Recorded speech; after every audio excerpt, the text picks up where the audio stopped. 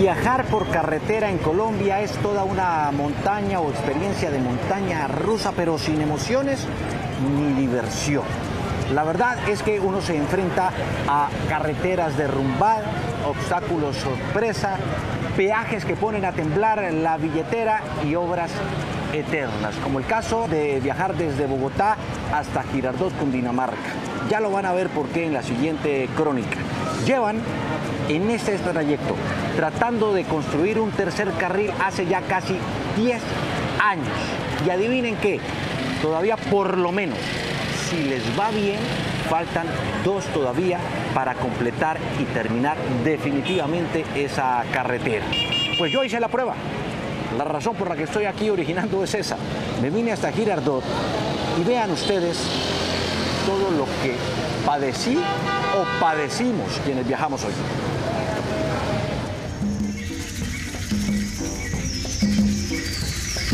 Viajar de Bogotá a Girardot se convirtió en un infierno sobre ruedas. Déjenme decirles que esta es una aventura que muestra lo que significa hoy ponerse al volante casi que en cualquier carretera de este bendito país. Nos aventuramos al recorrido Bogotá-Girardot, una carretera hoy de kilómetros y kilómetros de desesperación. Vamos a ver con qué nos encontramos. Son las 7 de la mañana y ya sé que este será un viaje interminable, no por la distancia, sino por un estado de la vía deplorable que une a la capital con el sur del país. Háganme el favor. Prueba de paciencia y resistencia viajar a Girardot. Apenas 130 kilómetros, pero son tres horas y media según el Waze de recorrido camino por Soacha. Semana de receso que ha bajado el trancón en Bogotá, pero aún así el viaje desde la avenida Boyacá con 26, con calle 13 ya, es toda una aventura. Salir de Bogotá pasando por Soacha es como encontrarte cara a cara con lo más espantoso, un verdadero deleite.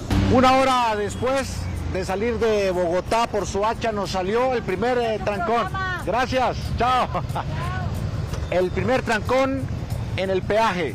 Bueno, que parece convertirse en una especie de pasarela de carros y se burla de nuestra paciencia y resistencia y llevamos apenas una hora de viaje. Me uno a este desfile de carros tras esta tractomula de Wilson, que más parece un viejo amigo sufriendo y desahogándose por este viaje que debería ser un paseo corto. Aquí me tienen, en pleno estilo camionero. ¿Qué tal este primer trancón que nos salió? No, el trancón viene de antier, todos los días. De ha estado. Viajar de aquí a Girardot. Un complique. Cuatro horas. ¿Usted cuánto gasta en gasolina y en peajes de aquí a allá? Bogotá, Saldaña. Saldaña y Saldaña me devuelvo. En combustible se dan 6, 9 por 6, 54, 540. Y en peajes son 236 mil. En la carretera reina la resignación. Todos saben lo que les espera. Es como ir a ver una película de terror, pero no hay opción de escapar. Estoy rodeado de señoras asustadas en sus carros. ¿Hace cuánto salieron de Bogotá? Sí, hace dos horas. ¿Dos horas? Dos horas, venimos de Kennedy. De Kennedy. Y apenas estamos en el peaje de Chusacá. Ahora en el peaje de Chusacá. Ni siquiera a este peaje da la talla. Está repleto porque la vía está en un solo sentido. La factura, eso sí, no da espera. Un automóvil paga 11.800 pesos. Qué divertido es pagar peajes en estas condiciones. ¿Está en un solo carril hasta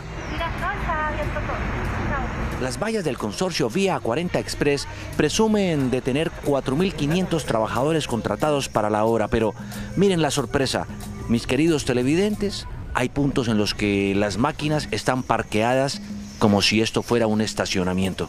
vamos a mirar si hay obreros, porque esa es una de las principales quejas con el concesionario Vía Express 40. Paga uno un peaje carísimo y la verdad las demoras en las obras, en buena medida, se originan por falta de trabajadores. En este punto no hemos visto, chao, no hemos visto un solo trabajador, ni en ese costado, y la verdad, tampoco en ese. Además, máquinas parqueadas, estacionadas, sin trabajadores ni conductores y son las ocho y media de la mañana. Sería injusto decir que no hay trabajadores en todo el camino, pero se encuentran tan esparcidos que uno empieza a dudar. ¿4.500 obreros?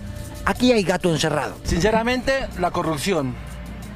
Sí, aquí todo el mundo es una obra y si vale, un ejemplo, vale 2 millones, cobran 4 millones y los otros se lo gastan y hay que aparar la obra. Desde entonces, todo conductor se enfrenta a una serie de obstáculos, emociones y hasta una clase de yoga al volante.